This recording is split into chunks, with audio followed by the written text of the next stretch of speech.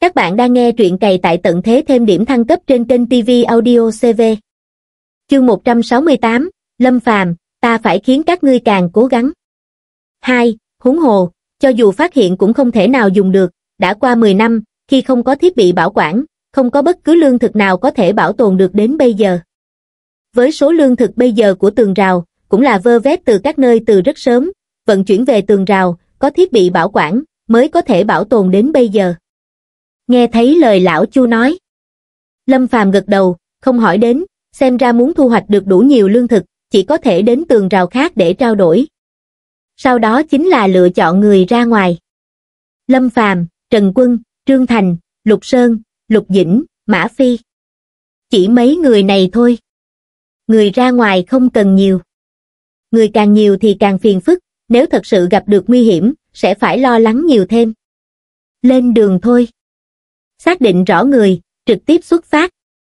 Trong phòng học, lão sư đang ngồi trên bục giảng sửa bài tập, học sinh thì đang đọc sách, bởi vì tận thế, trình độ giáo dục của bọn nhỏ rối tinh rối mù.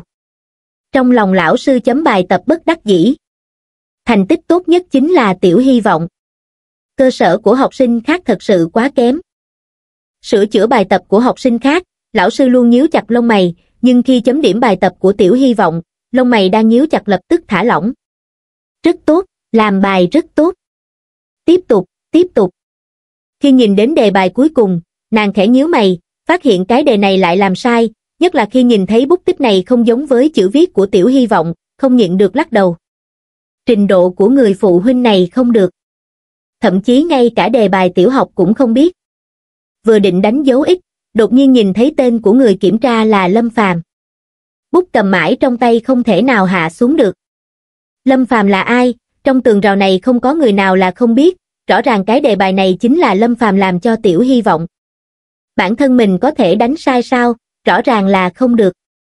Nàng bình tĩnh cầm băng dán, che đi công thức cũ, sau đó cầm bút lên viết đáp án chính xác xuống. 6, 3, 1, sờ 5, 1, bằng 12 phút. Đánh dấu tích. Hoàng Mỹ. Lão sư vô cùng khâm phục sự cơ trí của mình huyện Miếu Loan, công ty hạt giống. Hai chiếc xe tiếp cúp chậm rãi dừng ở ven đường, quan sát tình hình xung quanh, sau khi xác nhận không có vấn đề gì, mọi người xuống xe. Chú ý tình hình xung quanh, các ngươi ở chỗ này canh chừng, nếu có gì không ổn lập tức nói cho chúng ta biết. Lâm Phàm để Mã Phi, Trương Thành và Lục Dĩnh ở lại, hắn dẫn theo những người khác đi thu thập vật tư. Đã rõ. Mọi người gật đầu, bắt đầu chia ra quan sát, bảo đảm không bỏ qua bất cứ một phương hướng nào. Lâm Phàm dẫn theo Lục Sơn và Trần Quân đi vào trong cửa hàng. Tầng dưới của công ty hạt giống này chính là cửa hàng mở trong khu phố, chuyên bày bán hạt giống. Đi vào cửa hàng. Lâm Phàm nhìn hoàn cảnh xung quanh, dơ giấy bẩn thỉu, tủ kính nước vỡ, thủy tinh văng khắp nơi, cho bụi dày trải rộng mọi ngõ ngách. Đây chính là sức mạnh của thời gian trong tận thế. Có thể khiến mọi thứ xinh đẹp trở thành bụi bặm. Lâm ca, nơi này còn hạt giống dùng được sao? Trần Quân nói. Hoàn cảnh thế này, hắn ta cũng không tin. Đừng quản, cứ chuyển đi, chỉ cần hạt giống thì đều dọn đi hết, có thể dùng hay không quay về rồi nói. Lâm Phàm nói. Được. Trần Quân và Lục Sơn bắt đầu hành động. Bên ngoài, khu phố trống rỗng cũng không khiến bọn người Lục Dĩnh cảm thấy nhẹ nhõm, mà nâng cao 12 phần tinh thần, luôn luôn chú ý, tuyệt đối không bỏ qua một chút gió thổi cây lay nào. Đột nhiên, tại góc rẽ, có một con dị thú xuất hiện. Có dị thú. Lục Dĩnh nhắc nhở.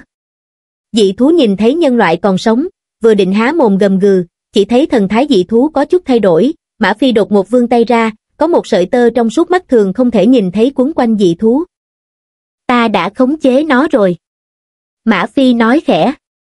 Lục Dĩnh kéo cung tên, vút một tiếng, một tiễn đâm xuyên qua đầu dị thú, giết chết nó. Mã Phi nói, không thể để dị thú phát ra âm thanh, đề phòng dị thú khác bị dẫn tới. Trương Thành giơ ngón cái với Mã Phi, ý tứ rất rõ, quả thật là trâu bò. Thời gian nhanh chóng trôi qua. Thỉnh thoảng sẽ có dị thú xuất hiện ở chỗ này, đối với dị thú mà nói, bọn chúng cũng không biết ở đây có nhân loại còn sống, chỉ tùy ý đi dạo đến nơi này mà thôi. Mã Phi có năng lực điều khiển con rối, mọi chuyện đều bình yên vô sự, xử lý rất nhanh. Trương Thành khó hiểu nói, Mã Phi, năng lực của ngươi rất mạnh, với thực lực giác tỉnh giả cấp 2 bây giờ của ngươi, có thể khống chế dị thú cấp 2 được không? Hắn ta thấy. Nếu như thật sự có thể khống chế dị thú cấp 2, vậy thì quả thật là vô địch. Mã Phi nhìn hắn ta, giống như đang nói, ngươi quả thật đã coi trọng ta rồi. Không thể nào. Vậy cực hạn là gì, không nói cho ngươi. Trương Thành nhưng vào lúc này, bọn người lâm phàm đã vác bao ra ngoài, ném bao vào phía sau xe, sát dị thú xung quanh khiến hắn chú ý, xem ra cần phải tăng nhanh tốc độ, có dị thú đi ngang qua, nói rõ khu vực này có khá nhiều dị thú sinh sống. Các ngươi cẩn thận một chút, chúng ta đến nhà kho phía sau xem. Nói xong, Lâm Phàm dẫn mọi người đến nhà kho xem. Đẩy cửa lớn đã rỉ sắt ra. Đột nhiên, một nhân loại bị não thú ký sinh xuất hiện, Lâm Phàm rút đao, dùng tốc độ cực nhanh vung đao, trực tiếp chém não thú thành hai, không cần thiết phải lãng phí thời gian với thứ đồ chơi râu ri này. Đi đến trước cửa cuốn đóng chặt. Năm ngón tay của Lâm Phàm cắm vào trong cửa cuốn, dùng sức xé mở, ném qua một bên kho mờ tối lập tức được chiếu sáng, trở nên rõ ràng hơn rất nhiều. Chỉ thấy bốn phía chất đống không ít phân hóa học. Chỉ là có rất nhiều túi phân hóa học đã bị thủng, phân hóa học vẫy đầy trên nền đất. Trần Quân, ngươi ra bên ngoài thông báo một tiếng, bảo bọn họ lái xe đến đây, bắt đầu vận chuyển. Lâm Phàm nói. Đã rõ. Trần Quân vội vàng rời đi. Lục Sơn cao mày nói, tình hình hư hỏng có chút nghiêm trọng, cần kiểm tra kỹ lại, hy vọng số lượng có thể nhiều hơn một chút. Lâm Phàm gật đầu. Phân hóa học vẫn còn, cũng không nằm ngoài dự liệu của hắn, đây không phải vật tư khan hiếm, mỗi thành thị đều có, chỉ là với tình hình hỗn loạn của một vài tường rào, hoàn toàn không nghĩ đến chuyện trồng trọt gì cả. Cho dù trồng trọt, cũng sẽ không mở rộng diện tích. Chỉ cần có thể giết dị thú, thịt dị thú có ở khắp nơi, cho dù ăn mỗi ngày, có thể ăn đến buồn nôn, nhưng vì nhét đầy cái bao tử, ai để ý đến chuyện này chứ? Sau đó hắn và Lục Sơn tìm kiếm ở bên trong. Quả thật hỏng rất nhiều. Nhưng không phải không có phân bón còn hoàn hảo không chút tổn hại. Cái này khiến Lâm Phàm thở phào một hơi, chỉ cần có là được, ít nhất nói rõ nơi bọn hắn đến có thu hoạch, xe pick-up tiến vào, tất cả mọi người tiến vào kho hàng tìm kiếm phân hóa học còn hoàn hảo, sau đó vận chuyển lên sau xe. Không biết qua bao lâu, hai chiếc xe pi chút chạy đi, rời khỏi nơi này, tiếp theo chính là đến Trung y viện tìm thuốc bắc, chỉ có ở nơi đó có dược liêu, đương nhiên, cũng có một vài hiệu thuốc cỡ lớn sẽ có thuốc đông y đương nhiên, với kiểu tủ thuốc cất giữ thuốc của các tiệm thuốc bắc kia, thuốc đông y bên trong chưa chắc còn sử dụng được. Chỉ là cho dù như thế nào, nếu đi ngang qua nhất định không thể nào bỏ qua. Lâm ca, ngươi có phát hiện không, tỷ lệ chúng ta gặp được dị thú không cao. Trần Quân cảm thấy rất kỳ quái, số lượng dị thú trong thành thị không hề ít, nhưng đến bây giờ, số lượng dị thú bọn hắn gặp được cũng không nhiều, cái này đặt vào trước kia nhất định là chuyện không thể nào. Chắc hẳn có liên quan đến dị thú triều. Lâm Phàm cũng phát hiện tình hình này, dị thú hồng huyết có, cấp 1 cũng có, nhưng cho đến bây giờ vẫn không nhìn thấy một con dị thú cấp 2 nào, đừng nói là trận dị thú triều kia đã hấp dẫn mấy dị thú ít ỏi trong huyện thành đi mất. Rất nhanh, bọn hắn đã đến gần trung y viện, khoảng cách rất gần, chỉ vài phút đã đến, tiến vào bên trong, nhìn kiến trúc im ắng tĩnh lặng, không có bất cứ động tĩnh nào, chỉ có tiếng lốp xe của bọn hắn ma sát với mặt đất phát ra tiếng sàn sạc. Thuốc bắc của Trung y viện được đặt ở tầng hầm đầu tiên ở lầu tổng hợp. Lục Sơn nói. Lâm Phàm nói, cái Trung y viện này trông có vẻ cũ kỹ. Lục Sơn nói. Bệnh viện cũ, đã mấy thập niên rồi, có thể giữ được bộ dáng như vậy đã không tệ rồi. Bọn hắn dừng xe ở cửa chính lầu tổng hợp, đi vào bên trong, đừng thấy nơi này rất an tĩnh, thì cho rằng nơi này an toàn, thật ra không có nơi nào có thể nói là an toàn nhất, dị thú thường sẽ đột nhiên lao ra cắn xé, mà thứ đồ chơi não thú kia là thứ tương đối âm hiểm. Tại nơi lờ mờ chật hẹp, não thú sẽ rất khó đối phó. Xúc tu phía sau có giác hút. Chỉ cần hạ xuống thì sẽ bám vào da thịt, kéo cũng không thể kéo xuống. Trên đường đi vào tầng hầm đầu tiên, Lâm Phàm đi đằng trước, Lục Sơn đi theo sau, tia sáng rất tối, đầu ngón tay Lâm Phàm bùng lên lửa, xua đi bóng tối xung quanh, chiếu sáng mọi thứ xung quanh, không có thứ gì có thể núp trong bóng tối đánh lén bọn hắn. Tại góc rẽ, có một não thú dữ tợn xông ra. Lâm Phàm đấm một quyền, trực tiếp đấm nó chia năm xẻ bảy, máu tươi văng ra, tiện tay vung lên, lửa bao trùm, thiêu đốt, đốt cháy xúc tua còn lại thành tro tàn. Không sao cả, chỉ là khúc nhạc dạo ngắn thôi. Lâm Phàm nói. Rất nhanh đã đến nơi cất giữ thuốc đông y, mở cửa đi vào, cho dù đã qua khoảng thời gian rất lâu, nhưng trong không khí vẫn tràn ngập mùi thuốc. Ngập tràn trong không khí. Trên mặt mọi người nở nụ cười, có mùi đã nói rõ có dược liệu. Nhanh tay chút, giải quyết sớm kết thúc sớm. Đều cầm bao ra, chia nhau thu thập. Lâm ca, có dược liệu bị mốc, còn thay đổi màu sắc. Trương Thành nhìn thấy tình hình dược liệu, sắc mặt thay đổi, cho dù hắn ta không phải bác sĩ, không biết rốt cuộc đó là loại dược liệu gì, nhưng bị mốc hay không, vẫn có thể nhìn ra được. Đừng quản nó có bị mốc hay không, chỉ cần dược liệu thì đều cầm về, về rồi tự nhiên sẽ có người chuyên nghiệp xử lý. Lâm Phàm nói, đừng thấy tường rào miếu loan là tường rào cỡ nhỏ.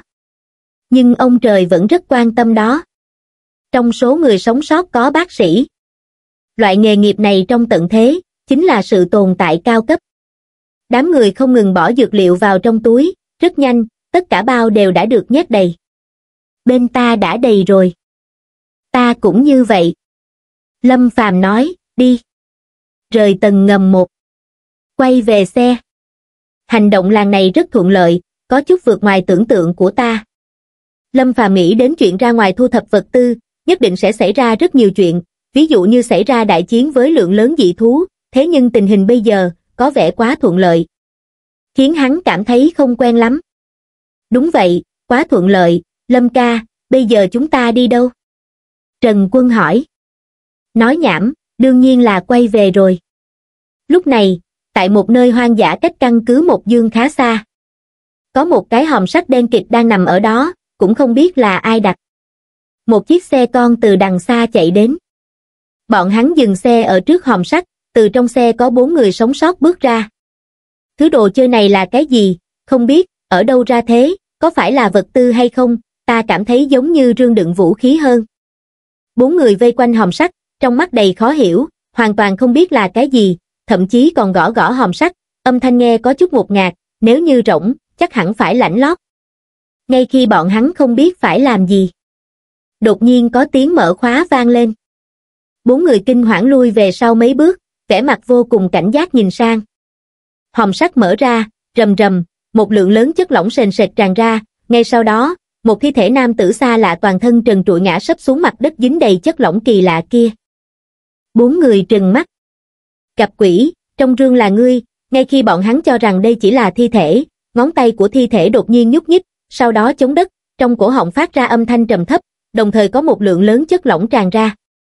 Này, ngươi là ai? Có một người sống sót hỏi. Thi thể không mở miệng, chỉ hé miệng, đã phun ra một lượng lớn chất lỏng trong bụng ra, giống như suối phun, liên tục không ngừng. Tình hình như vậy khiến bốn người sống sót run sợ. Ngay sau đó, thi thể chậm rãi ngẩng đầu, đôi mắt đỏ tươi hù bọn hắn sợ hãi. Ầm, lực bốc phát của thi thể cực mạnh, chỉ trong nháy mắt đã đẩy một người sống sót ngã nhào xuống đất, người sống sót kia kinh hãi gào thét. Cút ngay, mẹ nó ngươi cút ngay cho ta. Ba người sống sót khác nhìn thấy tình hình này, vội vàng dơ vũ khí, cố gắng công kích cái thi thể này. Chỉ là thi thể này không quan tâm đến những tổn thương do vũ khí gây ra, há miệng, trong miệng liên tục tràn ra chất lỏng, nhanh chóng ăn mòn người sống sót đang bị hắn ta đè dưới đất. A tiếng kêu thảm thiết vang lên. Người sống sót bị cắn xé đau đớn khó nén, ngay sau đó, hai tay thi thể vung lên, chỉ trong chốc lát đã xé rách người sống sót kia thành năm bảy mảnh. A, ba người sống sót khác choáng váng vì tình cảnh trước mắt. Thủ đoạn tà nhẫn như vậy, quả thật đã dọa bọn hắn đứng hình, không còn tiếp tục vung vũ khí nữa, mà không tự chủ lui về sau. Thi thể chuyển động đầu, mỗi lần chuyển động, xương cổ lập tức vang lên tiếng răng rắc, giống như mỗi một khớp nối trong cơ thể đều cứng ngắc, đã qua một thời gian dài không động, sinh ra ma sát. Ui! Thi thể lại lao đến, bắt được một người sống sót khác, người sống sót này là liệp sát giả, năng lực phản ứng rất nhanh, vung vũ khí lên muốn đánh lui thi thể. Chỉ là cái thi thể này không quan tâm đến vũ khí trong tay hắn ta, cho dù bị bổ một đao vào mặt, vẫn dùng sức lực đáng sợ của mình để đối phương ngã nhào xuống đất, hung hăng cắn xé. Tiếng kêu thảm thiết không ngừng. Máu tươi bắn tung tóe. Hình ảnh vô cùng đáng sợ. Căn cứ một dương. Hai khủ tay gã đeo kính chống bàn, bốn ngón tay đang vào nhau, ngón cái đụng nhau, tập trung tinh thần nhìn số liệu dao động ở trước mắt, đồng thời nhìn hình ảnh do máy bay không người lái truyền về, hoàn toàn đắm chìm trong khiếp sợ. Thật là lợi hại, với mới kết thúc cải tạo, đã sắp có thể giết chết bốn người, trong đó còn có hai liệp sát giả, thực lực này có chút đáng sợ. Gã đeo kính nghĩ thầm. Đồng thời có chút chờ mong vào sự phát triển của Dương Phi. Tất cả số liệu đều nằm trong dự đoán của hắn ta, sau đó hắn ta chậm rãi nói, gửi mệnh lệnh, bảo hắn tha cho người sống sót cuối cùng. Vâng. Sau khi gửi xong mệnh lệnh, Dương Phi đang định xé rách người sống sót cuối cùng, thân thể đột nhiên run rẩy một chút, có chút đau đớn, rõ ràng là có mệnh lệnh, ý thức bản thân sinh ra sự đối kháng mãnh liệt. Gã đeo kính nhíu mày, cái này cũng không đạt đến hiệu quả hắn ta dự đoán. Trong lòng của hắn ta, hiệu quả tốt nhất chính là sau khi nhận được mệnh lệnh, phục tùng vô điều kiện, nhưng rõ ràng, đối tượng đang đối kháng với mệnh lệnh. Ngay khi hắn ta đang bất mãn, lại xảy ra một chuyện khiến hắn ta càng bất mãn hơn, Dương Phi cố nén đau đớn vì mệnh lệnh, đột nhiên bổ nhào vào người sống sót cuối cùng, điên cuồng gặm cắn, hình ảnh đẫm máu truyền đến. Phế phẩm Vật thí nghiệm không thể khống chế không cần thiết tồn tại, hắn ta không cần thứ đối kháng mệnh lệnh, cái hắn ta muốn là tuyệt đối phục tùng mệnh lệnh. Khởi động chương trình tự hủy. Gã đeo kính đứng dậy, lạnh lùng nói vâng. Nhân viên công tác đáp. Mà ngay khi gã đeo kính muốn rời đi. Khoan đã. Gã đeo kính vội và nhìn chầm chầm hình ảnh, hắn ta phát hiện tình hình của Dương Phi có chút không đúng, chỉ thấy Dương Phi quỳ xuống, phát ra tiếng gào thét trầm thấp, thân thể đang nở ra, màu da hiện ra tái nhợt, đồng thời cơ bắp còn phình lên. Chân mày gã đeo kính nhíu chặt lại, bởi vì tình hình xảy ra nằm ngoài dự đoán của hắn ta. Cổ Dương Phi phình lên một cục thịt, cái cục thịt này càng lúc càng lớn, phập một tiếng, cục thịt nổ tung, một cái đầu đột nhiên xuất hiện, trực tiếp biến thành hai đầu. Mà Dương Phi vốn thân cao một mét mấy, vào giờ phút này đã trực tiếp bành trướng đến 3 mét. Đây là có chuyện gì? Cả đeo kính trừng mắt, theo như hiệu quả mà hắn ta biết, tuyệt đối không có khả năng xảy ra chuyện như vậy. Hắn đang tiến hóa sao? Hắn ta tự lẩm bẩm một mình, không hiểu tình hình lắm, vì sao đột nhiên lại xảy ra tình huống này. Trong màn hình, Dương Phi đứng tại chỗ không nhúc nhích. Gã đeo kính nói, đưa ra mệnh lệnh, bảo hắn xoay quanh. Vâng. Hắn ta đã có quyết định, nếu như Dương Phi còn không tuân theo mệnh lệnh, vậy thì hắn ta sẽ kích hoạt đạn nổ đã cài đặt bên trong cơ thể Dương Phi, tác phẩm thất bại cho dù xảy ra tình hình mới lạ, cũng không thể nào che giấu kết quả thất bại. Sau khi mệnh lệnh được đưa ra, gã gieo kính nhìn chồng chọc vào màn hình, hắn ta đang chờ kết quả, vào thời điểm mấu chốt, Dương Phi trong màn hình thật sự chuyển động. Được, thành công. Gã đeo kính hưng phấn vung quyền, kích động trong lòng khó mà nén được, vốn cho rằng thất bại, không ngờ lại thành công. Các ngươi nói vừa rồi vì sao hắn lại đối kháng lại mệnh lệnh, gã đeo kính hỏi. Nhân viên công tác nói, ta cảm thấy chắc hẳn là một loại thú tính, bất kể giả thú có thuần phục hay không, khi nhìn thấy con mồi, đều không thể đè nén được bản tính, hơn nữa sau khi hắn tiêu diệt con mồi trước mắt rồi, sẽ khôi phục lại bình tĩnh, cái này biểu hiện rất rõ. Nghe thấy vậy, gã đeo kính trầm tư, gật gật đầu, tán thành quan điểm này. Nói rất có lý. Hạ mệnh lệnh, bảo hắn tự do đi săn, ngược lại ta muốn xem hắn có thể tiến hóa đến mức nào. Vâng. Mà lúc này, gã đeo kính lại không biết, cái đầu mới mọc ra kia có tròng mắt màu trắng, hình thành khác biệt rõ ràng với trong mắt của cái đầu bên kia. Tường rào miếu loan. Đều quay về rồi. Ở tường ngoài, lão chu đến, những người sống sót khác đều vây xung quanh, mừng rỡ nhìn vật tư tràn đầy. Ừm, trong huyện thành chỉ có chút này, Hoàng Hải, ngươi xem những hạt giống này có thể dùng được hay không? Lâm Phàm nói. Hoàng Hải đã sớm không kịp chờ đi đến lấy hạt giống ra. Nắm một cái, cẩn thận quan sát, sau đó bỏ xuống, vẻ mặt vô cùng nghiêm trọng. Tất cả mọi người đều không dám thở mạnh. Những thứ này đều là vật tư quan trọng, nếu như có thể trồng trọt được, đối với tường rào miếu loan bọn hắn mà nói, chính là thành quả kinh người. Sau một hồi, Hoàng Hải phủi tay, trên mặt nở nụ cười, giống như ta nghĩ, có cái không dùng được, nhưng cũng có cái có thể trồng trọt. Lập tức, đám người sống sót xung quanh đều hoang hô. Biểu hiện rất kích động. Những hạt giống này đã không đơn giản chỉ là hạt giống, ở trong lòng bọn hắn, đây là đại biểu cho hy vọng vào tương lai, khi hạt giống gieo xuống, vậy thì chứng tỏ, từ nay về sau, bọn hắn sẽ không thiếu hạt giống. Những cái này giao cho ngươi. Lâm Phàm nói. Yên tâm, ta nhất định sẽ giao ra kết quả khiến các ngươi hài lòng. Hoàng Hải vô cùng tự tin nói. Mỗi người đều có chức vụ riêng của mình. Cái hắn ta hiểu rõ chính là cái này, hơn nữa sinh hoạt ở trong tường rào rất tốt, nếu như hưởng thụ được nhiều đãi ngộ như vậy, nhất định phải làm ra được thành tích. Lâm Phàm và lão Chu sánh vai nhau rời đi. Đúng rồi, đống vẫy ta cầm về lần trước, có làm ra được trò gì không? Nhiều ngày rồi vẫn không có tin tức gì. Lâm Phàm hỏi. Từ sau khi mang về vẫn chưa hỏi lại. Bây giờ mới nhớ đến. Không có. Một chút cũng không có, ừm, một chút cũng không có, không có chuyên gia, không có thiết bị, ta đã sắp xếp một vài người sống sót thiên tài đi nghiên cứu rồi. Lâm Phàm được rồi. Đối với chuyện này, hắn cũng bất lực, thứ đồ chơi này phải dựa vào chuyện chuyên nghiệp, điều đáng tiếc duy nhất của tường rào miếu loan bọn hắn chính là trong đám người sống sót không có đủ người chuyên nghiệp. Nếu như có chuyên gia như tường rào cỡ lớn kim lăng kia, nhất định đã có thể làm ra vài thứ gì đó. Hắn nói với lão Chu tình hình mà mình nhìn thấy ở huyện Miếu Loan, số lượng dị thú rất ít, lão Chu nghe thấy vậy thì vô cùng vui mừng, dị thú ít đi là tốt, có nghĩa là an toàn. Nhưng đối với Lâm Phàm mà nói, không có dị thú chính là chuyện rất tồi tệ. Hắn còn muốn mạnh lên nữa. Lão Chu, ta phải ra ngoài một chuyến. Lâm Phàm nói. Đi đâu? Lão Chu xem như đã nhìn ra, mệnh của Lâm Phàm chính là mệnh lao lực, một ngày nhàn là sẽ hoãn. Đi đến tường rào Diêm Hải một chuyến. Đi làm gì? Chuyện với Lê Bạch đã giải quyết rồi, ta nghĩ hắn sẽ không đến tìm chúng ta nữa đâu, dù sao thì một đòn của thiếu niên ném phân kia, nói thật, so với chuyện bị ngươi đánh còn nghiêm trọng hơn. Lão Chu vĩnh viễn không quên được hình ảnh ngày đó. Thật là chấn động. Ta muốn hỏi Lê Bạch vị trí mà dị thú cấp 3 thường hay xuất hiện, chúng ta có thể không còn nguy hiểm, nhưng nhất định phải cố gắng tăng thực lực của mình lên. Lâm Phàm nói. Lão Chu nói, nói thật, trước kia một tháng chưa chắc có một viên huyết tinh cấp 3 để dùng, nhưng bây giờ ta cũng đang cố gắng. Tình hình bây giờ thật sự không thể tưởng tượng nổi.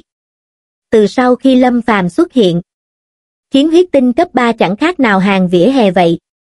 Huyết tinh cấp 3 đã chẳng còn chút mới mẻ nào nữa.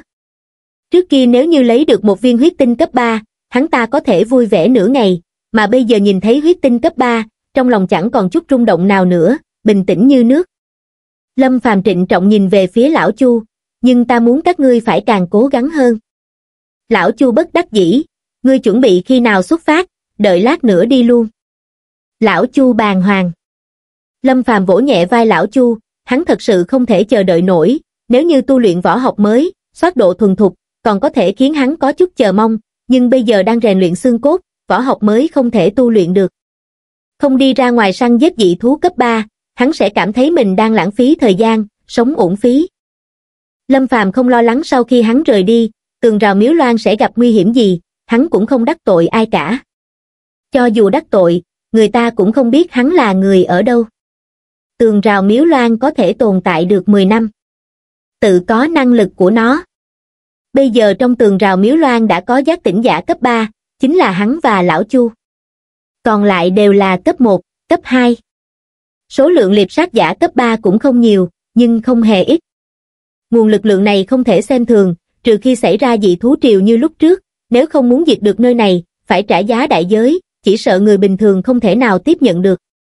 Sau khi tạm biệt lão Chu, hắn đến từ ngoài, Vương Đại Bảo đang rửa chiếc xe tiếp cúp màu đen vô cùng đẹp trai cho hắn, biết được hắn lại ra ngoài, Vương Đại Bảo vô cùng kinh ngạc, đồng thời yên lặng nhủ thầm, bản thân nhất định phải cố gắng.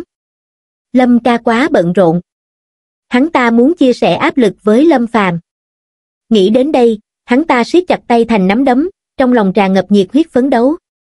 Lâm Phàm không nói chuyện, nhưng động tác của Vương Đại Bảo, hắn đều nhìn thấy rõ, tiểu tử này lại đang suy nghĩ lung tung, cổ vũ bản thân phấn đấu. Ai, có thể trở thành động lực giúp người khác phấn đấu trong tận thế, hắn cảm thấy mình vẫn rất có mị lực. Đại Bảo Lâm Phàm vỗ vai hắn, cố lên. Ừm, Vương Đại Bảo trịnh trọng gật đầu. Trong huyện Hồng Trạch, độc giác lan cẩu chạy nhanh, không để ý đến đám dị thú xung quanh. Đột nhiên, phịch một tiếng. Ở góc rẽ có một con dị thú xông ra, va vào nó, nếu như không phải thân thể nó cường tráng, đã sớm bị con dị thú kia đụng bay. Độc giác lan cẩu nhìn ra được đây là một con dị thú cấp 1. Chậm rãi bước đến trước mặt đối phương, dị thú cấp 1 gầm nhẹ, dị thú độc giác lan cẩu đã thu liễm hơi thở, ở trong mắt con dị thú cấp 1 này, nó chỉ là một con dị thú hồng huyết bình thường. Cấp bậc của mình rất lớn. Tuyệt đối có thể làm càng. Khi đến gần, độc giác lan cẩu cắn vào cổ đối phương một cái, hung hăng cắn xé, mãi đến khi đối phương không còn chút động tĩnh nào, nó mới thả ra, móc huyết tinh cấp một ra, nuốt xuống. Không có bất cứ tâm tình vui sướng nào cả.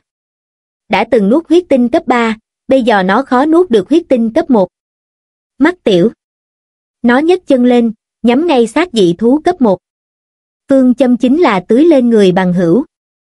Tiếp tục tìm kiếm ở trong thành, nó cảm nhận được uy thế do dị thú cấp 3 tản ra, thuận theo luồng uy thế này mà tìm kiếm. Rất nhanh. Nó đã thấy được dị thú cấp 3. Đầu dị thú cấp 3 này là hổ tiến hóa, chữ vương trên trán vàng óng ánh, các dị thú xung quanh rung lẩy bẩy, thành thành thật thật nằm rạp trên mặt đất, không dám động đậy. Độc giác lan cẩu cục đuôi, nện tứ chi đi về phía dị thú cấp 3. Đối với dị thú yếu thì mạnh bạo cường sát, đối với dị thú mạnh thì khúng núng. Đây chính là miêu tả chính xác về độc giác lan cẩu. Dị thú cấp 3 chú ý đến độc giác lan cẩu, ánh mắt hung lệ miệt thị nhìn sang. Độc giác lan cẩu hạ thấp thân thể, chậm rãi đi đến trước mặt dị thú cấp 3, lè lưỡi, liếp láp móng vuốt dị thú. Dị thú cấp 3 rất hài lòng. Điều này thể hiện sự thần phục. Nếu như Lâm Phàm nhìn thấy tình cảnh này, tuyệt đối sẽ không nhịn được mà đậu đen rau muống. Ngươi sao có thể ti tiện như vậy chứ, đã nói đi theo ta, một ngày chín bữa, không ngừng có huyết tinh, cuộc sống như vậy biết đi đâu mà tìm, nhưng ngươi thì hay rồi, không phải tự lực cánh sinh, phương châm lại là hèn mọn ẩn nút. Ai, đúng là một lời khó nói hết. Trong tận thế này, nhân loại cố gắng mạnh lên, cách sống cũng muôn màu muôn vẻ. Mà dị thú không phải cũng như vậy sao? Không thể không nói, hiện thực không phân chia nhân loại hay dị thú. Đều đối đãi ngang nhau. Mọi người sống cũng không dễ dàng. Tường rào Diêm Hải Xe pick cúp màu đen vừa xuất hiện đã gây ra sự chú ý, Lâm Phàm không ngờ tường rào Diêm Hải lại có nhiều người sống sót gia nhập như vậy, thế mà đang đều xếp hàng đi lên. Khoảng thời gian hắn ở tường rào Miếu Loan. Chưa bao giờ nhìn thấy có ai chủ động gia nhập. Cái này chắc hẳn là vì lực hấp dẫn giữa tường rào là khác nhau sao, huynh đệ, xe ngươi thật là đẹp. Có người sống sót đang xếp hàng chủ động chào hỏi. Lâm Phàm cười nói, tạm được, ngươi từ đâu đến thế, ai, ta từ tường rào Hải Thành chạy nạn đến. Đã nhìn ra rồi, nhưng mà sao ngươi không đến tường rào Miếu Loan, ở đó cách ngươi gần nhất mà. Này, đầu óc ta có bệnh nhà, một tường rào cỡ nhỏ có gì tốt mà gia nhập. Trên mặt người sống sót kia tràn đầy ghét bỏ. Lâm Phàm, cảm giác kỳ thị thật sâu. Kỳ thị giữa người với người, rất dễ hiểu. Ai có thể nghĩ đến giữa tường rào và tường rào, cũng có kỳ thị. Ngươi từ đâu đến? Người sống sót đang nói chuyện với Lâm Phàm hỏi. Miếu Loan. Ngươi hỏi ta vì sao không đến Miếu Loan, chính ngươi là người sống sót ở tường rào Miếu Loan, không phải cũng chạy đến đây sao, ta đến tìm người. Nghe Lâm Phàm nói, người sống sót này trợn trắng mắt, ý rất rõ ràng, ta tin ngươi cái quỷ ấy. Lâm Phàm biết đối phương không tin. Hắn cũng lười giải thích.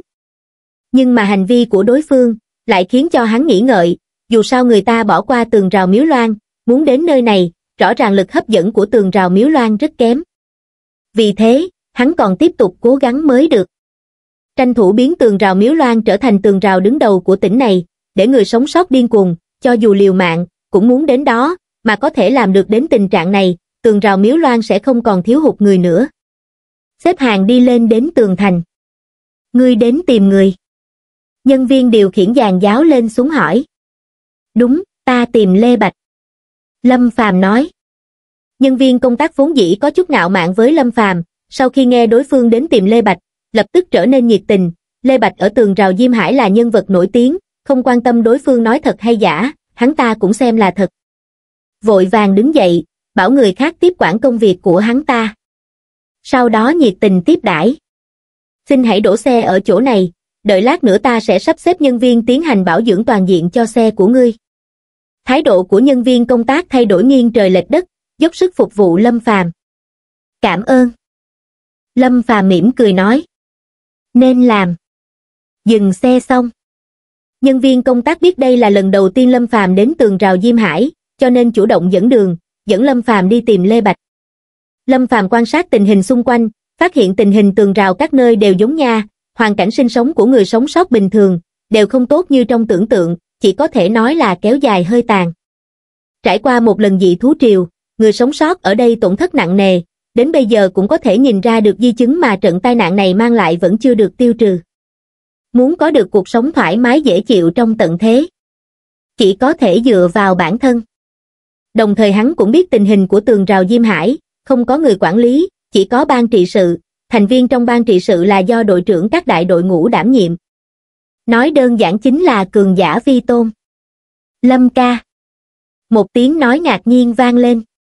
Theo tiếng nói nhìn lại, Ngô Đình vui vẻ chạy chậm đến. Lâm ca, sao ngươi lại đến đây? Tới thăm các ngươi một chút. Lâm Phàm nói. Nhân viên công tác bên cạnh đương nhiên biết Ngô Đình, đội viên tiểu đội cơ thạch, liệp sát giả cấp 3, xem ra vị này thật sự quen biết Lê Bạch. Lâm Phàm lấy ra một viên huyết tinh cấp 1 nói, cảm ơn dẫn đường, tiếp theo có bằng hữu của ta là được. Cảm ơn, cảm ơn. Nhân viên công tác kinh ngạc nhận lấy huyết tinh, hắn ta không phải chưa từng nhìn thấy huyết tinh cấp 1, chẳng qua là cảm thấy đối phương thật hào phóng, bản thân mình chỉ là muốn dẫn hắn đến chỗ Lê Bạch, đã trực tiếp lấy ra một viên huyết tinh, đúng là hào khí ngút trời. Nhân viên công tác vô cùng vui vẻ rời đi. Ngô Đình nhìn thấy rõ mọi chuyện. Bằng hữu, mình được xem là bằng hữu. Lúc đầu gặp mặt, hắn ta đã cảm thấy Lâm Phàm khác với những người hắn ta từng nhìn thấy. Người khác cho người ta thịt dị thú và huyết tinh giống như đang bố thí. Mà biểu hiện của Lâm Phàm thì khác, ngươi bỏ ra vì ta, ta cho ngươi thứ ngươi xứng đáng được nhận, đây là hợp tác và tôn trọng lẫn nhau. Lâm ca, ta dẫn ngươi đến chỗ chúng ta, trong khoảng thời gian này Hồng Tỷ vẫn còn hay nhắc đến ngươi đó. Ngô Đình nhiệt tình nói. Được, đúng rồi, vết thương lần đó đã tốt hơn chưa? Lâm Phàm quan tâm hỏi. Ngô Đình vỗ ngực, đã tốt rồi, đây chẳng qua chỉ là vết thương nhỏ mà thôi, không có gì đáng ngại. Ngô Đình là người rất dễ cảm động. Vì sao hắn ta lại nhiệt tình và thân thiết với Lâm Phàm như vậy? Chính là vì khi bọn hắn hợp lực đối phó với dị thú cao cấp, thân là một thành viên của đội ngũ, bị thương thì cứ bị thương đi. Nhưng chính là người trước mắt này, đã ném công lao cho hắn ta. Nói rằng nếu như không phải hắn ta bỏ ra, sẽ không thể nào dễ dàng bắt được dị thú như vậy. Cái này khiến Ngô Đình cảm động đến lệ nóng doanh tròng. Có xúc động muốn khóc. Bây giờ Lâm Phàm còn quan tâm đến vết thương của hắn ta, cái này khiến Ngô Đình càng thêm cảm động. Không có việc gì thì tốt, nhìn thân thể ngươi cường tráng, cũng đừng nên có việc gì. Lâm Phàm vỗ ngực Ngô Đình mấy lần, Ngô Đình ôm ngực, cười he he. Có Ngô Đình dẫn đường. Đi đến chỗ của tiểu đội cơ thạch. Rất nhiều thành viên vẫn còn nhớ đến Lâm Phàm, tình cảnh hôm đó vẫn còn mãi trong đầu, thật lâu cũng không thể quên. Có người nhỏ giọng trao đổi với đồng bạn bên cạnh. Hắn chính là Lâm Phàm của tường rào Miếu Loan, dư thế quan của đội Bạo Long là do hắn giết. Vậy sao hắn còn dám đến đây? Nói nhảm, Lê Bạch đã đến tường rào Miếu Loan rồi, rõ ràng là đã hòa giải xong. Trong tiếng xì xào bàn tán, ai cũng kính sợ Lâm Phàm. Giết Diêu Thế Quan, còn có thể hòa giải với Lê Bạch, loại năng lực này bọn hắn không thể nào tưởng tượng nổi. Hồng tỷ, ngươi xem ai tới này. Ngô Đình đẩy cửa ra. Lương Hồng quay đầu lại, nhìn thấy Lâm Phàm xuất hiện, có chút kinh ngạc, sau đó tươi cười, tiến lên chủ động chào hỏi. Hoan nghênh. Cảm ơn. Lâm Phàm cười. Hai bên ngồi xuống, Ngô Đình chủ động đi pha trà, hành động này khiến Lương Hồng có chút hoang mang, trước kia Ngô Đình rất hướng nội, sau khi Lâm Phàm đến, biểu hiện nhiệt tình như vậy, nàng có chút không hiểu. Hai bên tán gẫu, chắc đến chuyện dị thú triều, hóa ra tường rào Diêm Hải bị tổn thất nghiêm trọng như vậy, bị dị thú triều tấn công vào bên trong tường rào. Về sau nhờ có nguyên nhân đặc biệt, dị thú triều đột nhiên rút đi, nếu không tường rào Diêm Hải có còn tồn tại hay không cũng là một ẩn số. Có thể nói một chút, Lê Bạch đến tường rào Miếu Loan rốt cuộc đã xảy ra chuyện gì hay không? Lương Hồng cũng có tâm tình bát quái, ngọn lửa kia luôn cháy hừng hực trong lòng. Hỏi bên phía Lê Bạch nhất định không thể có được đáp án. Cho nên chỉ có thể chủ động hỏi Lâm Phàm. Lâm Phàm móng trà, cười nói, không đánh thì không quen biết, có khi duyên phận thật sự khó hiểu như vậy đâu. Ồ nghe thấy vậy, Lương Hồng dường như đã hiểu ra. Ngô Đình đứng bên cạnh nói, ta đã sớm nói mà, nhất định là Lâm ca đã đánh Lê Bạch một trận tơi bời, nhưng mà Lâm ca lòng dạ rộng lớn, không chấp nhặt với hắn, để hắn quay về. Lương Hồng nhìn Ngô Đình, khá lắm, tiếng ca này gọi thật là thuận miệng. Nàng luôn cảm thấy, nếu như cho tiểu tử này cơ hội, tiểu tử này tuyệt đối sẽ chạy, trực tiếp đến gia nhập tường rào miếu loan. Lâm Phàm cười cười không nói chuyện, vẫn nên chừa chút mặt mũi cho Lê Bạch, dù sao thì người nào cũng cần mặt mũi, chuyện đã xảy ra, không cần phải nói ra. Đúng rồi, Lê Bạch ở đâu, ta có vài việc muốn tìm hắn. Lâm Phàm nói. Lương Hồng đứng dậy, ta dẫn ngươi đi tìm hắn, đội bạo long của hắn đã giải tán, nghe nói trong khoảng thời gian này, hắn luôn tự nhốt mình trong nhà máy, cũng không biết để làm gì. Được, phiền ngươi rồi. Lâm Phàm nghĩ đến Lê Bạch tự nhốt mình trong nhà máy, không phải là chuyện lần đó khiến hắn ta chịu đã kích to lớn gì rồi chứ, ngẫm lại cũng không có khả năng. Đã sắp trở thành giác tỉnh giả cấp 4 rồi. Tâm tính đừng nên kém như vậy. Lúc này, nhà máy mà Lương Hồng nói cũng không phải là nhà máy, mà là một phòng hơi lớn mà thôi. Nơi này từng là đại bản doanh của đội Bạo Long. Sau khi đội Bạo Long giải tán, đại bản doanh này cũng chỉ còn lại một mình Lê Bạch. Trong căn phòng mờ tối, Lê Bạch với thân hình khổng lồ, biểu hiện rất đau đớn, từ sau khi biết được nhược điểm của mình rồi, hắn ta luôn liều mạng muốn khắc phục nhược điểm này. Đánh rắm là chuyện bình thường. Ai dám nói mình không thúi, cho dù là đẹp như thiên tiên cũng sẽ đánh rắm, hơn nữa còn thúi. Nhưng Lê Bạch thì khác, hắn ta tuyệt đối không cho phép bản thân mình có nhược điểm đánh rắm, hơn nữa còn là sau khi biến thân, cái rắm này lại trở nên thường xuyên hơn, cản cũng không thể cản được, đây là chuyện tuyệt đối không cho phép. Lúc này, hắn ta cố nén xúc động muốn đánh rắm kia lại. Nhịn, ta phải nhịn. Ý chí cố nén và khống chế cơ vòng, thường thường đều là ý chí lớn hơn một bậc, nhưng cơ vòng xoay chuyển, lại không phải chuyện hắn ta có thể khống chế. Vì giải quyết loại phiền toái này, hắn ta đã sớm chuẩn bị một cái một tắc cực lớn. Ngăn chặn lối ra. Phần bụng bị trướng khí lộ rõ, cảm giác cố gắng kìm nén rất khó chịu, nhưng mà ý chí của Lê Bạch cường đại đến mức nào, thậm chí còn đang âm thầm nghĩ, nếu như ngay cả cái này cũng không nhịn được, cho dù sau này trở thành cường giả, cũng là một cường giả có nhược điểm chí mạng mà thôi. Những người khác không thể nào chiến thắng hắn ta, nhưng chỉ cần có nhược điểm này, gặp được Lâm Phàm nhất định sẽ thua. Hắn ta không cho phép bản thân có nhược điểm như vậy. Bên ngoài, Lâm Phàm, Lương Hồng, Ngô Đình đã đứng ở ngoài cửa, một cách cửa đầy vết rỉ sắt đóng chặt. Chính là chỗ này sao? Lâm Phàm hỏi. Ừm. Lương Hồng gật đầu. Trước kia nơi này rất náo nhiệt, đội bạo long ở nơi này rất nổi tiếng, mỗi ngày người tới lui đặc biệt nhiều, nhưng từ sau khi Lê Bạch giải tán đội ngũ rồi, nơi này đột nhiên trở nên vô cùng im lặng. Lâm Phàm kéo cửa sắt ra, trong phòng rộng rãi tối tắm, chỉ có thể loáng thoáng nhìn thấy có một bóng người đang đứng ở đó. Tối quá, sao không bật đèn? Sờ vào vách tường, tìm công tắc mở đèn. Tạch, công tắc được bật lên, đèn sáng, trong phòng trở nên vô cùng sáng rõ. Ba người bọn họ nhìn thấy rõ bóng người kia, chính là Lê Bạch, bây giờ Lê Bạch đang mặc quần cộc to, đứng ở nơi đó, cả gương mặt nghẹn đến đỏ bừng, ngay khi ánh đèn mở lên. Lê Bạch đang suy nghĩ dựa vào ý chí giải quyết nhược điểm, đột nhiên trừng mắt, nhìn chầm chầm ba người vừa xuất hiện. Khi nhìn thấy gương mặt Lâm Phàm, vẻ mặt đột nhiên thay đổi. Là ngươi, Lê Bạch kinh ngạc nói. Bình thường mà kinh ngạc thốt lên thì chẳng có vấn đề gì, nhưng mà khi hắn ta mở miệng nói chuyện, ý chí cố kìm nén kia hoàn toàn buông lỏng, phần bụng dời sông lấp biển, thổi phù một tiếng, một cái rắm vừa vang vừa thối đột nhiên tung ra. Thật sự như một tiếng sấm bổ giữa trời quang. Vang vọng như pháo. Loảng xoảng một tiếng. Một tắc trực tiếp từ trong quần cục rơi ra ngoài, lăn trên mặt đất. Trong chốc lát, hiện trường hoàn toàn yên tĩnh. Bản thân Lê Bạch ngây ngốc, sắc mặt trắng bệch. Ánh mắt Lương Hồng và Ngô Đình nhìn chầm chầm vào cái một tắc lăn xuống đất, miệng há hốc, vẻ mặt kinh hoảng. Ngô Đình không nhịn được nói, một, một tắc từ trong quần cục rơi ra ngoài. Tất cả mọi người đều là người trưởng thành. Nhìn thấy đều hiểu, không hiểu chính là dối trá. Nhất là có ánh sáng chiếu rọi, trên cái một tắc kia còn có chút ẩm ướt. Lê Bạch trợn tròn mắt. Hắn ta biết mình xong đời rồi. Mặt mũi mất hết, hoàn toàn mất hết, sau này sao còn có thể ở lại cái tường rào diêm hải này nữa, giờ phút này, hắn ta có một ý nghĩ đáng sợ nhảy ra trong đầu. Đó chính là giết người diệt khẩu. Chỉ có như vậy mới không bị truyền ra ngoài. Đồng thời, Lâm Phàm cũng trợn tròn hai mắt vì thao tác của Lê Bạch. Hắn rất muốn nói, ngươi chơi cũng thật đa dạng. Nhưng cho dù nói thế nào, Lê Bạch người ta cũng đã sắp thành giác tỉnh giả cấp 4 rồi, mặt mũi nhất định phải có, hắn có thể mở miệng trào phúng ngay được sao, nhất định là không được. Muốn kết giao bằng hữu, phải có một số trường hợp suy nghĩ cho người ta.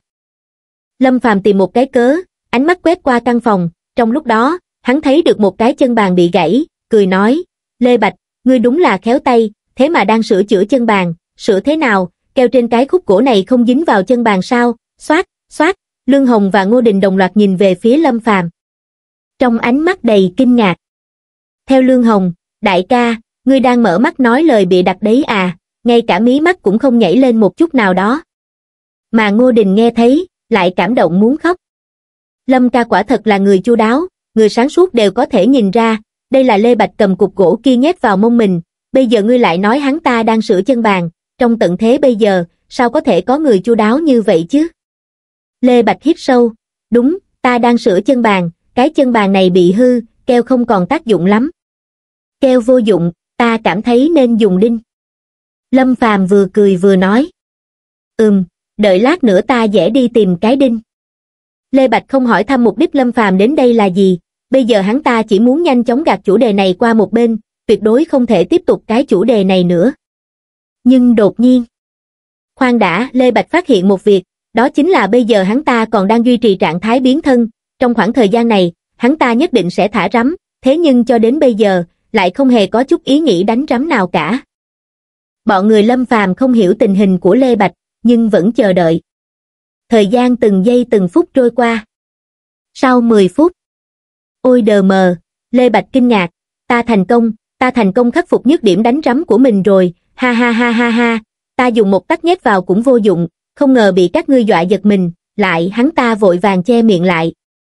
Mẹ nó, trong đầu chỉ còn mỗi một giọng nói. Ta tự hố mình rồi. Lâm Phàm chớp chớp mắt, lực bất tòng tâm, huynh đệ, ta đã cố gắng cứu vãn ngươi rồi, nhưng chính người tự động hớ ra, thật sự không có cách nào cả. Không phải, không phải như thế. Lê Bạch lúng cuốn, tình thế cấp bách, thu nhỏ lại hình thể, muốn giải thích gì đó. Nhưng ngay khi hắn ta muốn giải thích, lại phát hiện đầu bọn hắn cùng quay về một hướng, trừng mắt, nhìn chồng chọc bên dưới hắn ta. Giống như đang nghĩ đến cái gì đó. Lê Bạch cúi đầu nhìn lại, rõ ràng là quần cộc lớn bị tụt xuống dưới chân, trực tiếp để lộ thứ đồ chơi kia ra. Thật nhỏ. Lương Hồng nói. Đúng vậy, cái này khiến ta nhớ đến con dung ta đào để câu cá khi còn bé. Ngô Đình nói. Lâm Phàm thở dài, xem như hiểu rõ một chuyện, kể từ ngày hôm nay, mặc kệ Lê Bạch ở trước mặt người ngoài mạnh mẽ hiên ngang như thế nào, trong tâm lý của một vài người, hình tượng của hắn ta đã bén rễ ăn sâu, không thể nào phá hủy được. Chúng ta ra ngoài chờ hắn đi. Lâm Phàm Nín đã cố gắng giữ lại mặt mũi cho Lê Bạch. Chờ một chút trong lúc bối rối, Lê Bạch muốn cản lại, chỉ là vừa nhấc chân lên, hai chân bị quần cộc vướng víu, trực tiếp ngã sấp xuống mặt đất.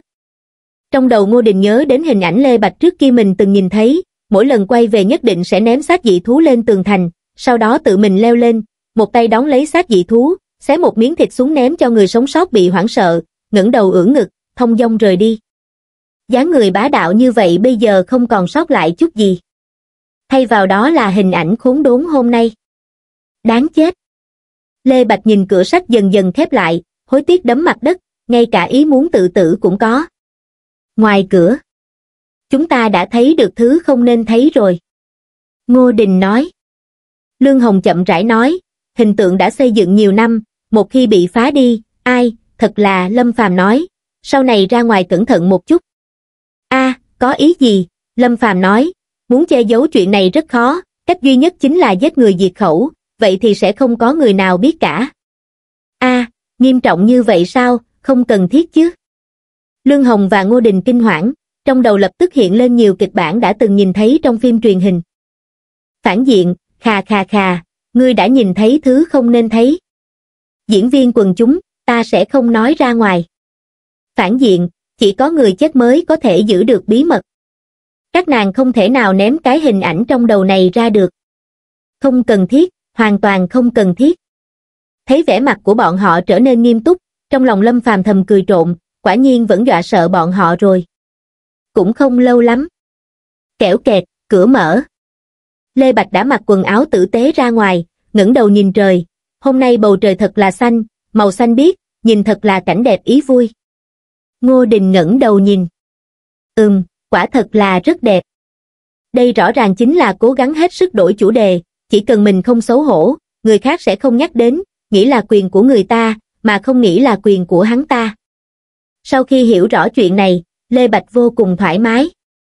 Lúc này, Lê Bạch móc từ trong túi ra ba viên huyết tinh cấp 3, cho, những thứ này ta có quá nhiều, không dùng hết được, tặng cho các người. Lương Hồng kinh ngạc nhìn Lê Bạch. Biểu hiện của Lê Bạch rất lạnh nhạt, trực tiếp nhét một viên huyết tinh vào trong tay nàng. Ý rất rõ ràng, lấy huyết tinh của ta, xem như ta đã cho ngươi chỗ tốt. Chuyện này trời biết, đất biết, bốn người chúng ta biết, không hy vọng sẽ có thêm một người nữa. Cái này quá quý giá. Ngô Đình xua tay. Đồng thời có chút hoang mang, Lê Bạch hào phóng thì đúng là hào phóng thật, nhưng cho đến bây giờ vẫn chưa từng tùy tiện bỏ huyết tinh cấp 3 ra ngoài. Lấy đi, để cho ta an tâm. Lê Bạch nói. Lâm Phàm ở bên cạnh trực tiếp cầm lấy một viên huyết tinh, nắm trong tay, cười nói, vận may xem như cũng không tệ, vừa mới đến nơi này đã được không một viên huyết tinh cấp 3, con người ngươi thật tốt. Sau khi Lâm Phàm cầm, Ngô Đình cũng cầm. Trong lòng Lê Bạch thở phào một hơi. Cuối cùng cũng cầm. Hắn ta sợ bọn họ kiên quyết không cầm, vậy thì chuyện này sẽ như tảng đá đè trong lòng hắn ta, ngủ cũng không thể nào yên giấc. Lê Bạch không ngờ loại sai sót ngẫu nhiên này, lại có thể khắc phục được nhược điểm của hắn ta, nói thật, hắn ta cũng không biết việc này mình nên khóc hay vui mừng. Các ngươi tìm ta có chuyện gì?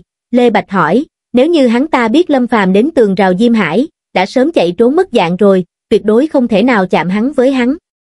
Hắn ta sợ nhất chính là Lâm Phàm nói chuyện của hắn ta ở tường rào miếu loan ra ngoài.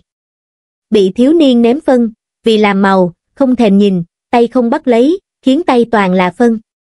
Thời điểm chiến đấu, còn đánh rắm, trực tiếp nhen lửa, đốt cháy mông mình. Những chuyện này, nghĩ kỹ lại, cảm thấy đúng là đã ném hết mặt mũi mình đi rồi.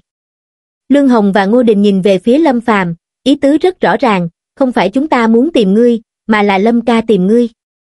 Lê Bạch nhìn Lâm Phàm. Vẻ mặt Lâm Phàm tươi cười nhìn Lê Bạch. Đối mặt với nhau. Lê Bạch cảm nhận được một loại áp lực, không phải bởi vì thực lực của đối phương mạnh mà gây ra áp lực, mà là chuyện mình mất mặt bị đối phương nắm trong tay, cho nên cảm thấy áp lực. Có chuyện gì? Nếu như có thể giúp được, ta nhất định sẽ giúp. Lê Bạch chủ động lấy lòng. Chính là vì để Lâm Phàm cảm nhận được lòng thành của hắn ta, hy vọng đối phương có thể hiểu được, ta đã chân thành như vậy, ngươi cũng không thể bán ta được. Tiểu Trân Châu của ta rất dễ rơi xuống đó. Lâm Phàm nói, ta muốn hỏi ngươi, dị thú cấp 3 thường hay xuất hiện ở chỗ nào? Nghe thấy vậy, Lê Bạch đột nhiên thở phào một hơi. Hắn ta còn tưởng là chuyện gì chứ? Hóa ra chỉ là việc nhỏ này. Cái này đơn giản, chính là ở trong khu bảo hộ tự nhiên hoàng gia tim kia, khu vực gần sát Duyên Hải, nơi đó có rất nhiều dị thú, rất dễ gặp được dị thú cấp 3, nhưng mà bởi vì đợt dị thú triều kia, ta cũng không biết số lượng dị thú cấp 3 có giảm bớt hay không. Lê Bạch vô cùng quyết tâm nói nơi mà trước kia mình hay đánh quái ra. Không có ý gì khác. Chính là hy vọng Lâm Phàm đạt được mục đích, đi nhanh lên, hắn ở nơi này càng lâu, chuyện xấu của mình sẽ càng dễ bị bại lộ ra. Ồ Lâm Phàm gật đầu, không có ý định rời đi. Nhưng vào lúc này, u u, tiếng cánh quạt quay vù vù truyền ra. Chỉ trong thời gian ngắn đã thu thú sự chú ý của mọi người, chỉ thấy một chiếc máy bay trực thăng xuất hiện ở trên không, rồi từ từ hạ xuống. Đây là ai đến vậy? Lâm Phàm hỏi. Lê Bạch nói, không biết, nhưng theo ta được biết, thế lực có thể sử dụng máy bay trực thăng, gần đây nhất chính là tường rào Kim Lăng, kỳ quái, nếu như là người của tường rào Kim Lăng, sao lại chạy đến đây, chúng ta đi xem một chút. Lương Hồng nói. Lâm Phàm cũng rất tò mò với chuyện này, cùng muốn đi xem tình hình. Rất nhanh, khi bọn hắn đến địa điểm, bên kia đã tụ tập rất nhiều người. Ba người xa lạ từ trong máy bay bước xuống, hai nam một nữ, sau khi đi xuống máy bay, nhìn mắt nhìn lướt xung quanh một vòng, nữ tử mở miệng nói trước. Xin hỏi, bên chỗ các ngươi ai tên là La Minh? Những người xung quanh hai mặt nhìn nhau. Vô cùng tò mò đối phương tìm La Minh để làm gì. Lương Hồng nói, Lê Bạch, nếu như ta nhớ không sai, tên La Minh kia hình như là đội viên của đội Bạo Long các ngươi nhỉ, bởi vì huyết tinh mà giết đội viên khác, ngươi vốn định giết hắn, nhưng lại được đội trưởng của đội ngũ khác cứu đi, đúng không? Lê Bạch nói, nếu như nơi này không có La Minh thứ hai, vậy thì chính là hắn. Lâm Phàm nói, La Minh kia có gì đặc biệt? Lê Bạch nói, à, giác tỉnh giả có năng lực dịch chuyển không gian, năng lực này rất hiếm gặp.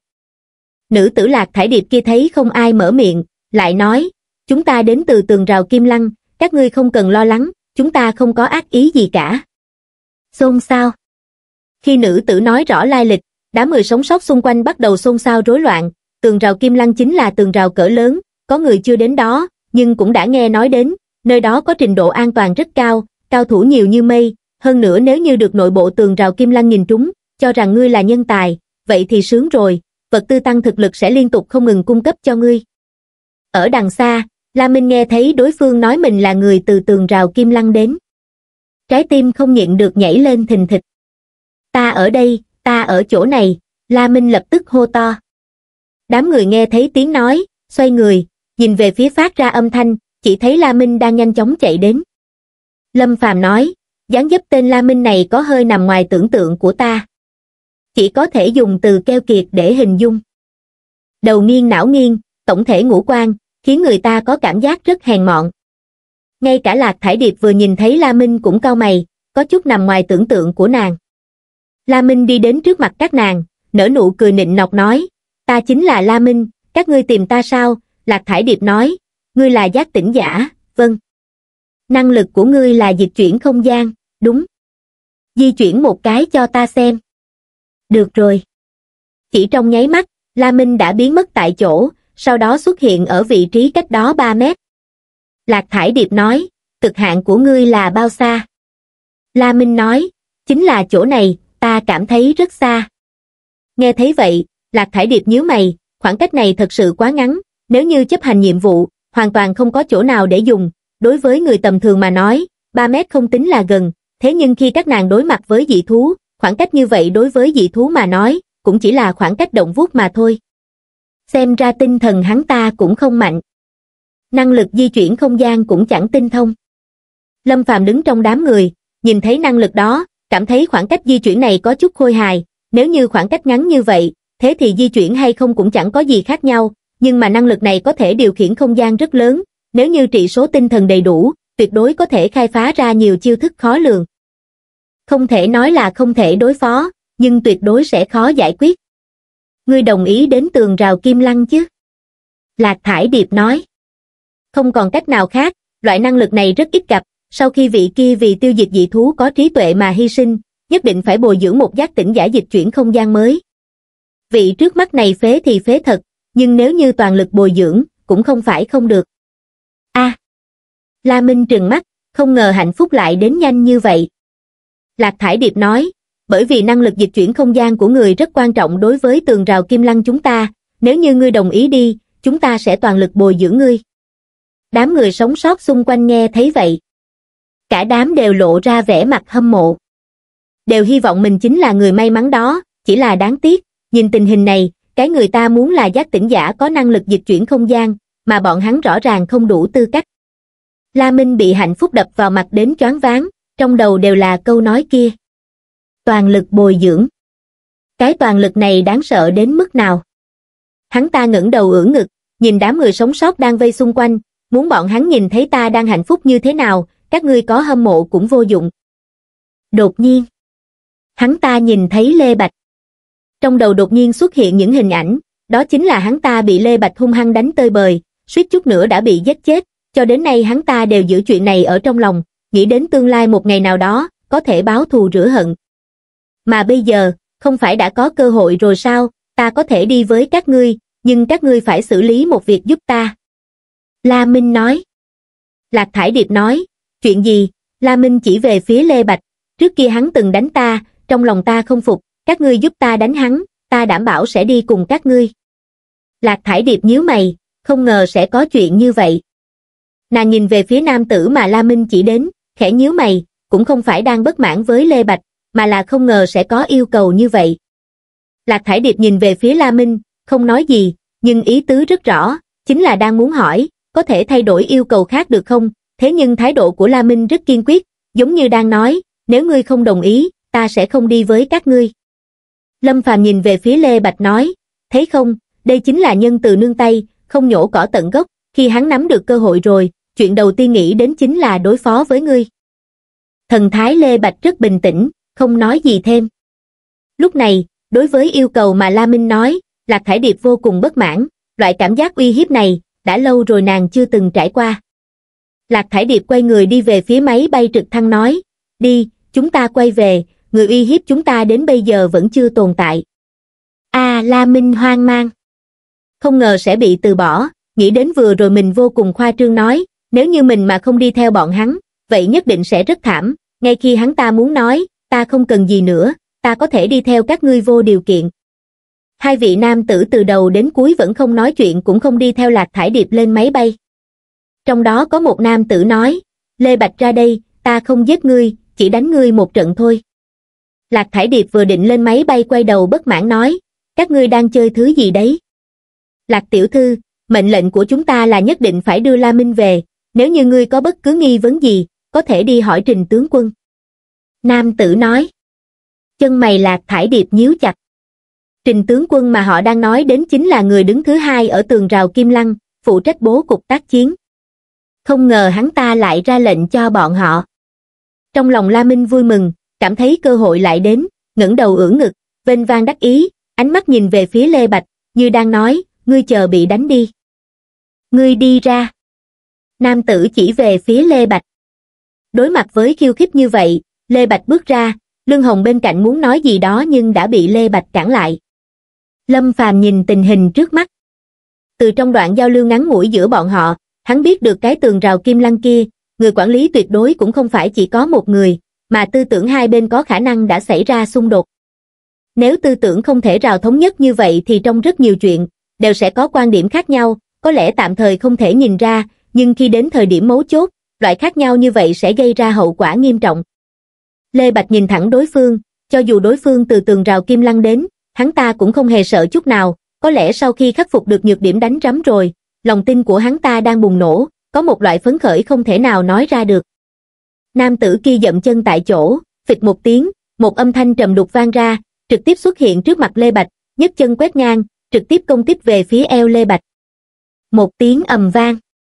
Lê Bạch biến thân trong nháy mắt, một cánh tay cường tráng ngăn trở đòn của đối phương. Khi hai bên va chạm, hình thành một luồng trùng kích, khiến đám người sống sót xung quanh phải nhanh chóng lui lại, kinh ngạc trước thực lực kinh khủng của hai người. Năng lực cự thạch, năng lực không tệ. Nam tử bình luận, nhưng trong mắt lóe lên tia sáng, lực lượng quét ngang ở chân bột phát, trực tiếp khiến sắc mặt Lê Bạch khẽ biến, thân hình bất ổn, lùi sang bên cạnh mấy mét. Giác tỉnh giả cấp 4, ngay khi Lê Bạch đỡ đòn, đã cảm nhận được thực lực của đối phương. Rất mạnh. Đã cao hơn hắn ta. Nhưng mà hắn ta đang nhiệt huyết sôi trào, máu nóng khắp người đều đang sụt sôi.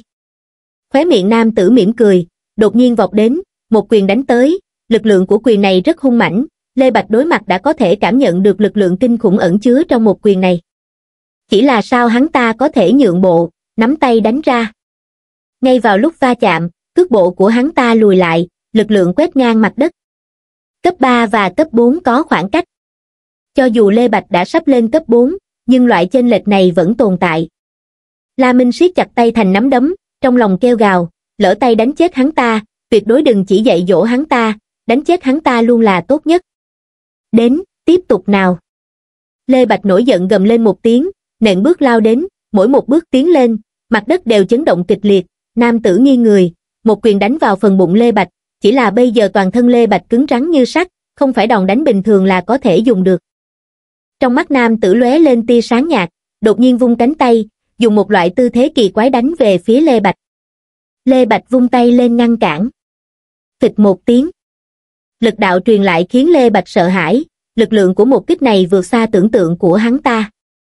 Sắc mặt lạc thải điệp nghiêm túc, đây là thông bối quyền, là một loại quyền pháp lưu truyền ở thời cổ đại, mà cánh tay đối phương đang vung vẩy, là một cách phát ra kình lực, điều chỉnh phương hướng phát lực, từ đó có thể bộc phát ra kình đạo càng mạnh hơn. Vào thời kỳ hòa bình, cái này chỉ có thể nhìn xem chơi. Ví dụ như lúc stream, dùng tay để đập dưa hấu, đập tảng đá, đập tấm sắt.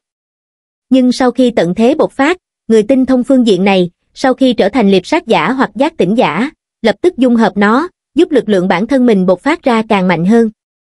Lê Bạch bị một kích này đánh bay xa mấy mét, chỉ cảm thấy cánh tay vừa ngăn cản đau đớn không gì sánh được, giống như bị gãy lìa, cấp bậc của đối phương rõ ràng cao hơn hắn ta, còn đột nhiên bộc phát lực lượng như vậy, chỉ trong chớp mắt này hắn ta đã biết, bản thân mình sợ khó có thể ngăn cản được. Nam tử thấy Lê Bạch bị đánh bay, không hề nghĩ ngợi, nhanh chóng vọt đến, nhấc hủ tay, đi về phía trước, cái chiêu thức kinh điển này khiến hai mắt Lâm Phàm tỏa sáng, giống như đã từng quen biết. Đỉnh tâm trựu cấp 8 Lê Bạch đối diện với một kích này, sắc mặt đại biến, hắn ta cảm nhận được một luồng áp lực cực lớn. Không tốt, sắp thua thảm rồi. Lê Bạch không biết phải ngăn cản như thế nào, chỉ có thể nhấc nửa thân thể lên, hai tay giao nhau, muốn ngăn cản một kích này. Dừng tay. Lạc Thải Điệp thấy nam tử định ra tay độc ác, vội vàng ngăn cản, đây là những gì học được của người từng ở trong bộ đội đặc chiến, khi còn là người bình thường đã có thể tạo ra lực phá hoại đáng sợ, chứ đừng nói bây giờ là giác tỉnh giả, một đòn này đánh xuống, chỉ sợ sẽ xảy ra chuyện. Chỉ là lời nàng nói, nam tử cũng không nghe. Đùng, ngay khi đỉnh tâm trữ sắp chạm đến Lê Bạch, một cánh tay ở bên cạnh đột nhiên duỗi ra, bắt lấy cổ tay đối phương, khiến nó không thể nào tiến thêm một bước. Lê Bạch không cảm nhận được đau đớn mở mắt ra. Thấy người ngăn cản đòn này lại là Lâm Phàm. Hắn ta nhìn Lâm Phàm với ánh mắt cảm kích, nam nhân mà, rất cần mặt mũi, một kích này đến, nếu hắn ta bị đánh trúng thì sẽ rất thê thảm, nhất định rất mất mặt. Người sĩ diện giống như hắn ta, nếu như mất mặt, đúng là khó chịu còn hơn giết chết hắn ta. Nam tử bị giữ cánh tay lại, không thể nào động đậy, sắc mặt đột nhiên đại biến, vội vàng giãy dụa, thoát khỏi đối phương, đồng thời kéo dài khoảng cách.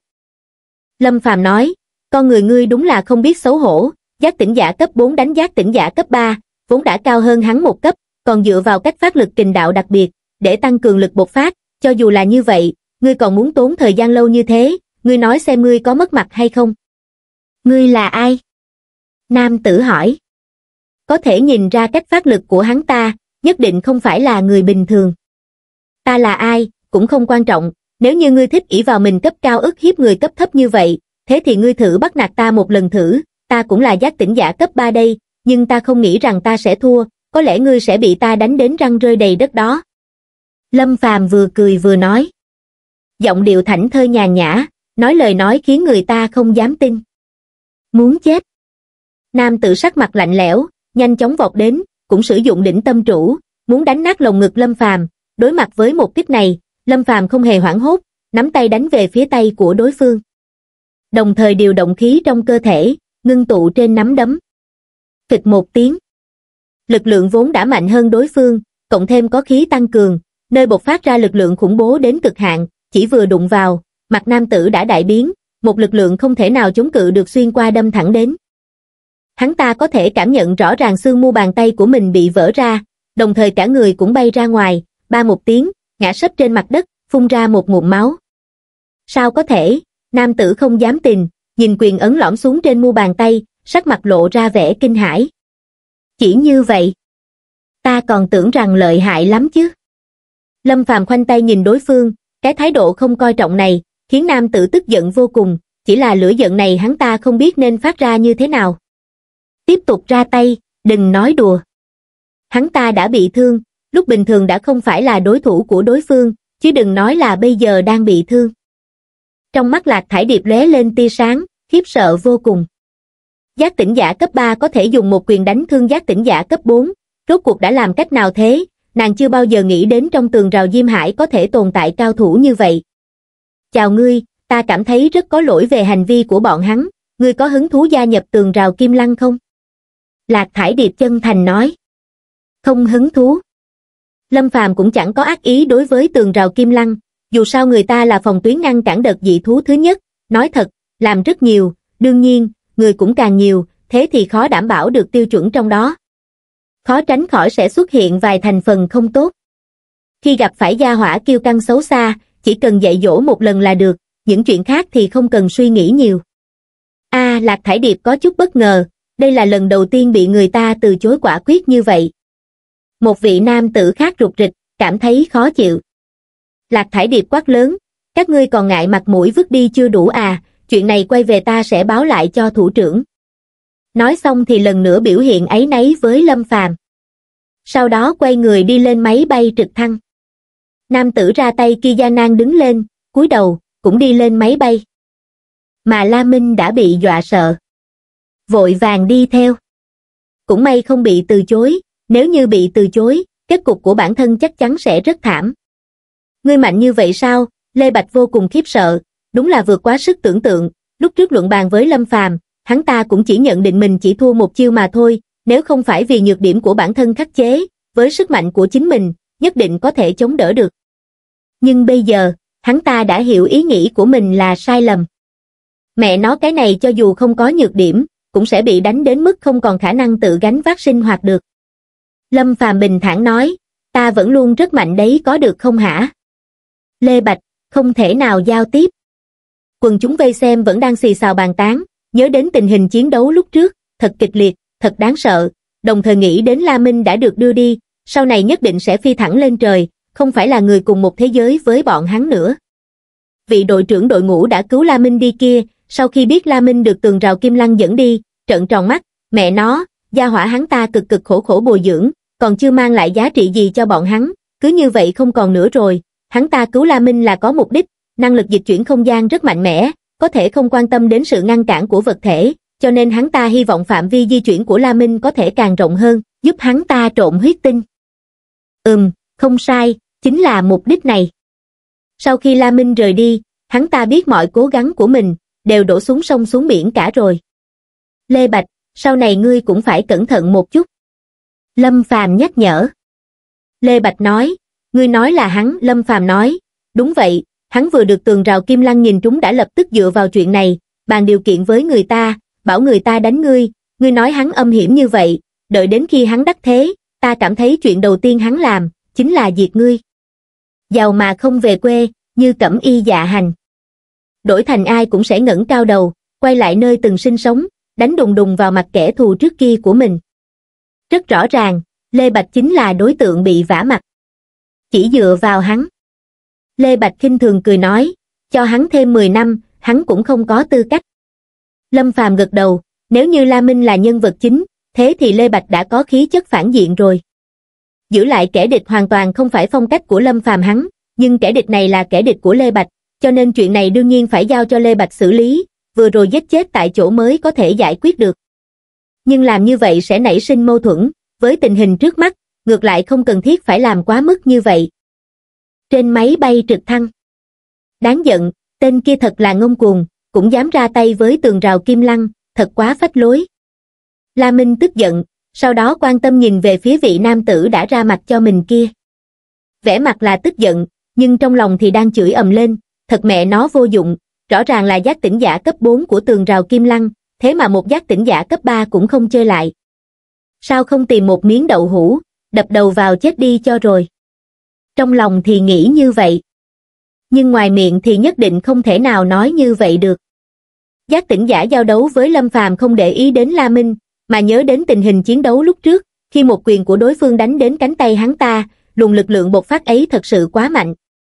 Khó mà ngăn cản. Cấp 4 thua cấp 3. Hắn ta biết mình đã mất hết mặt mũi. Ngươi câm miệng cho ta. Lạc Thải Điệp chán ghét nhìn về phía La Minh, cảm thấy lần này tìm giác tỉnh giả dịch chuyển không gian này thật vô dụng, thậm chí còn đang hoài nghi, dẫn hắn ta đến tường rào kim lăng, là chuyện chính xác sao?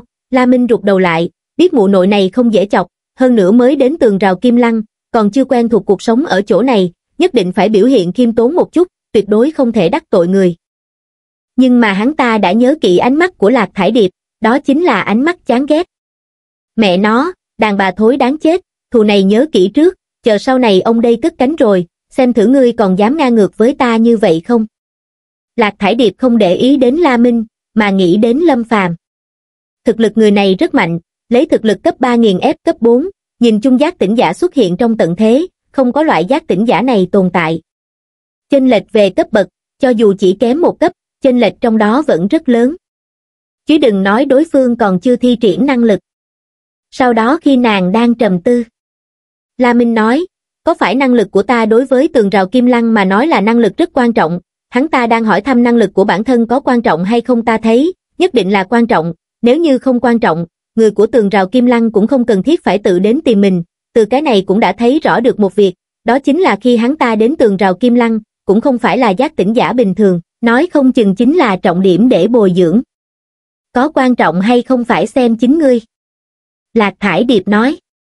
La Minh vỗ ngực, ta vẫn luôn rất cố gắng, ta có năng lực như vậy là vô cùng vinh hạnh, ta sẽ cố gắng tăng cường năng lực bản thân, vì nhân loại cống hiến hết mình. Vẻ mặt Lạc Thải Điệp không thay đổi, mặc cho đối phương nói hay như thế nào, theo nàng cũng chỉ là đánh rắm mà thôi. Một nam tử khác nói, vì sao dị thú triều lại lui, nguyên nhân chính là vì giết được dị thú có trí tuệ. Dị thú có thể chi phối dị thú triều nhất định rất mạnh. La Minh nói, không mạnh, nhưng dị thú bảo vệ dị thú có trí tuệ thì rất lợi hại, rất khó đến gần, cách duy nhất có thể đến gần chính là để người có năng lực dịch chuyển không gian, dẫn theo cường giả đến gần, đánh giết dị thú có trí tuệ. Nam tử nói, à, a vẻ mặt La Minh kinh ngạc nhìn đối phương. Nói gì thế, có một dự cảm không lành hiện ra, hắn ta bị tường rào kim lăng chọn trúng, mục đích chính là vì dẫn người đi giết dị thú có trí tuệ, tuy rằng chưa từng thử qua, nhưng sao cảm giác giống như đang đi chịu chết thế. Trong lòng hắn ta có bất mãn. Thế nhưng không thể quay về được. Hóa ra tác dụng của ta lại to lớn như vậy, năng lực của ta thế mà có tác dụng cực kỳ quan trọng, ta nhất định sẽ cố gắng. La Minh tỏ vẻ kiên định, đồng thời cũng tỏ vẻ rất vinh hạnh với sứ mệnh của mình. Trong lòng Lạc Thải Điệp cảm thấy, gia hỏa trước mắt này cũng chẳng bình ổn, quá giả tạo, loại tình hình này nhất định phải báo cáo thật chi tiết, bởi vì một một vị giác tỉnh giả có năng lực di chuyển không gian, đều là người quyết định thời khắc sinh tử, có chút vấn đề, vậy thì sẽ phí công nhọc sức, lôi kéo tất cả mọi người đều chung cùng. Hoàng gia tim, khu bảo hộ tự nhiên. Một chiếc xe cúp màu đen chậm rãi đổ lại. Lâm Phàm từ trong xe đi ra, bùn đất dưới chân có chút mềm, ngẩng đầu nhìn về phía xa, phong cảnh tươi đẹp, được bảo hộ rất tốt, không bị phá hư. Thời kỳ hòa bình, nơi này là thiên đường bảo hộ động vật sinh tồn. Sau tận thế, nơi này là nơi có rất nhiều dị thú sinh sống. Hắn từ tường rào diêm hải ra ngoài, cũng không dẫn theo ai cả, đơn độc đã đấu là thói quen của hắn, có người bên cạnh, luôn khiến hắn có cảm giác gò bó tay chân. Nhấc chân đi về phía xa, xuyên qua đám cỏ lau, cỏ lau đều cao hơn hắn, hoàn toàn che lấp tầm mắt của hắn, chỉ có thể dựa vào cảm giác mà tiến lên. Lúc này, trong vùng đất ngập nước đầy cỏ lau, một con mãng xả phủ đầy bùn ngọ ngoại, thân thể của nó thô to như thùng nước, chiều dài đã đạt đến 4-50 mét, thuộc về quái vật khổng lồ. a tại sao ta có cảm giác như mình là con mồi đang bị nhắm đến vậy?